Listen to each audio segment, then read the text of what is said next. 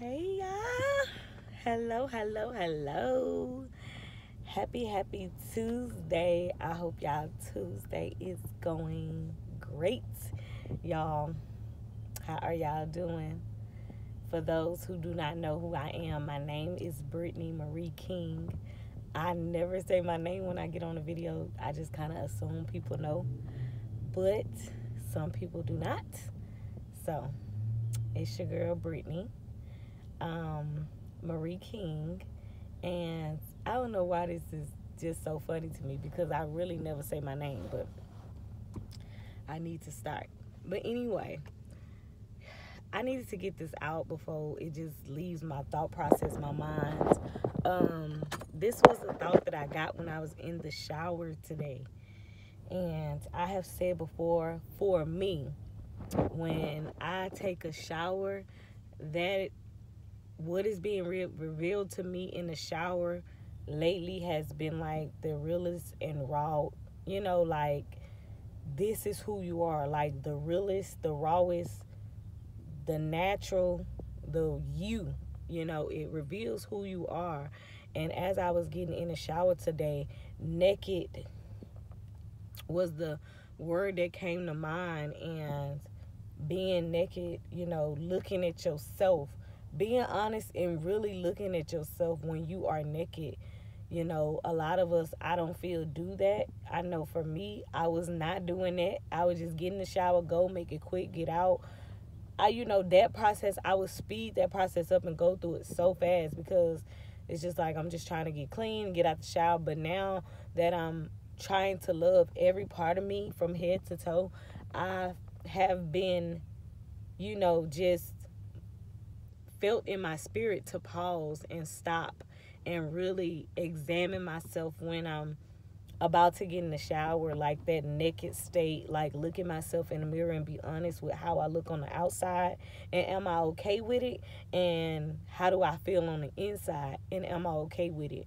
And during that time when I have nothing on, because I cannot get in the shower with jewelry, with watches on, with makeup, with all, I cannot get in the shower with all of those things on with a wig on. If I do got a wig on, it's covered. So like everything is off. I'm not getting in the shower with clothes on. Everything is off. So I don't care who in this world, you know, everybody in this world go through this process of being naked and it's up to us to take that time with ourselves to stop and really look at ourselves in the mirror and be honest and look at ourselves and be like, do we like what we see? As the naked version of ourselves on the outside, do we like what we see? And as and on and the naked version, just new, just nothing, raw, real, just bare. Do you like the inside of that? Do you like how you feel? Because at that moment you will experience a whole lot of stuff when you in that bathroom when you in your closet when you in the secret place in a closed space where you're not letting anybody in. When you get in the shower ain't nobody in there with you unless you know we ain't even finna talk about that you know. Hopefully you married when you you know if you in there with somebody else but I'm talking about when you are by yourself. Everybody has to go through that period of being naked and nude and bare and need to take the time to stop and really look in the mirror and be honest with yourself and how you look and how you feel inside and out. And that's what I was just, you know, led was led to do and sit and think about. And as I was thinking about being nude, being naked in the shower, for some reason, Genesis has been in my thoughts going back to the beginning and really getting an understanding of the beginning and how everything started. And y'all, it's crazy because today is the third.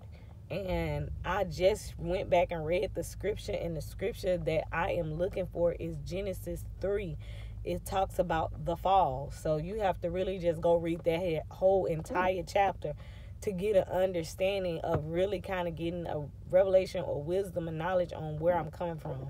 So if you don't read it, you're not going to know. But basically, it was talking about the fall of man and how before, you know, man did not know that they were naked. You know, they didn't know that they were naked. They were perfect to God. After they fell and disobeyed God is when they realized that they were naked. When they were, you know, didn't have nothing on, they could see their it says their eyes were open. And it's I feel like I'm in that position where I am being stripped of everything and my eyes are being coming open like I'm so naked to my surroundings like it's just real and raw and I can't help but see the truth you know and at that moment for them they was naked. They realized that they were naked and in in that same passage it talks about how they were afraid. They were ashamed you know and it was just reminding me of how you know when you're in that state of being afraid and ashamed it's because you know you did something wrong. You know you disobeyed. You know you did something that you was not supposed to do and that's where the fear comes in at and that's where the shame comes in at. But you know i am reminded i was reminded to you know it's a great thing when you can step in that zone and be like okay yeah my eyes are open and I see that you know this is what's wrong and try to fix it and try to be better you know and grow you know you can't look at it and be like oh i'm afraid and i'm ashamed and naked and go what they did was they was afraid they was naked and they went to go hide and god is asking them what are y'all hiding for the only reason y'all hiding is because they hiding because they like I we're naked. And it's like how you know you're naked? How do you even know that? because you disobeyed me basically you disobeyed me so that's the only way you would know that and hey they was sent out you know. They they put on them some clothes and they kept it moving. They was but they was put out of the garden.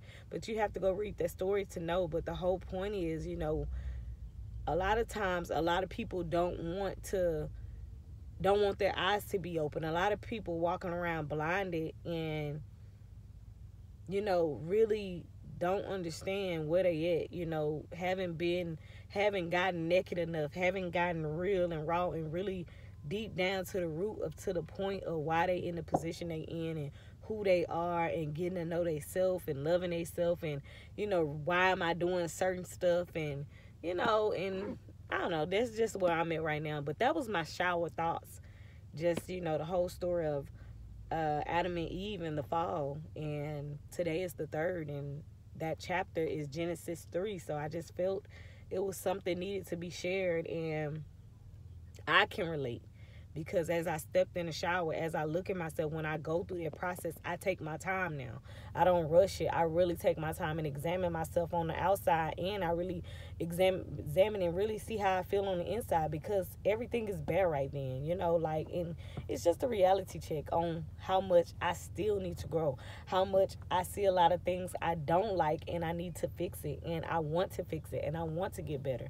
And you know, me sharing it is just a way of I know if I'm thinking it, somebody else is thinking the very same thing and need help with the very same thing. Like I know I'm not the only one in this transitioning, you know, period to where, you know, you transitioning out of that uh, slave mentality, that slave mindset and and tapping into who you are in creative zone and who you are called to be in purpose mode, you know. So, hey, uh, I don't know. I just thought that was great. I thought, you know, when I get something and I feel that it won't leave me and it's always in my thoughts that I need to share it. I got to share it. I want to share it.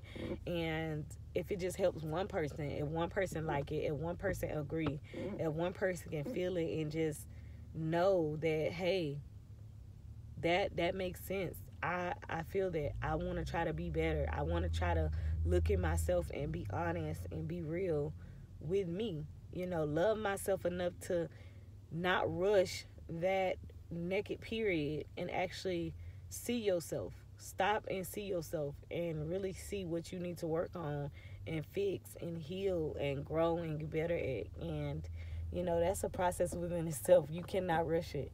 Um, or when you rush it, you're going to be going back and doing again because if you rush it and you don't get the lesson and you fail the test because the test come with it. So when you fail the test you know you got to take it over again. You got to take the class over again. You got to repeat it over again. So who wants to keep repeating the same test? I did that so many times. Like the test of life and like just say for instance i have three kids um three girls. I had did that cycle three times. Like that test, I repeated that three times of sleeping with a person, not knowing who they are, rushing a relationship and moving fast, not knowing who I am, not knowing who they are, and just having a baby. I rushed it. And it's just like I failed it three times, but you know, I woke up and I was like, I'm not finna be like my mother. I'm not finna be like my father. You know, I, I want to pass this test and I don't want my children to continue this curse. So, you know, just a reality check. But anyway, y'all, I got to go. I'm finna continue to enjoy my day. Y'all have a great day. I love y'all. Be great. Nothing less.